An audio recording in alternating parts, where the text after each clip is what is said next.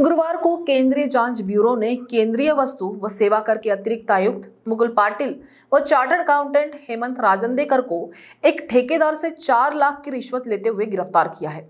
आरोपी पाटिल ने chartered accountant के माध्यम से रिश्वत मांगी थी। आरोपियों के घर व कार्यालय की तलाशी जारी है।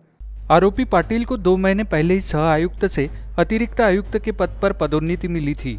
सीजीएसटी में कस्टम की ज़िम्मेदारी दी गई थी। यवतमाल के जय इलेक्ट्रिकल्स के ठेकेदार जयंत चौपाने का मामला पाटिल के पास सुनवाई के लिए चल रहा था। सीए हेमंत के माध्यम से साढ़े चार लाख की घूस मांगी गई थी।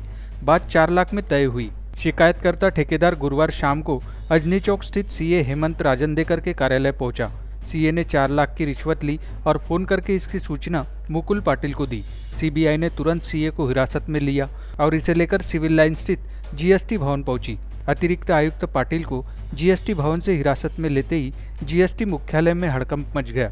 जीएसटी नागपुर में पहली बार सुपर क्लास वन स्तर के अधिकारी को सीधे कार्यालय से हिरासत में लिया गया है। पाटिल तीन साल पहले ही गुजरात से नागपुर तबादला होकर आए थे। दोनों आरोपियों को शुक्रवार को विशेष सीबीआई कोर्ट में पेश किया जाएगा। सीबीआई अधीक्षक एम एस खान के मार्गदर्शन में जाँच जारी है। बाय सब जानना चाहते हैं। मेरा फेवरेट कलर मेरा फेवरेट डेस्टिनेशन मेरी फेवरेट डिश पर कोई ये नहीं पूछता कि फेवरेट डिश मैं बनाती कैसे हूँ। अरे यार। जिसे टेस्टी खाना पसंद है वो अच्छे टेस्ट तक पहुँच ही जाता है।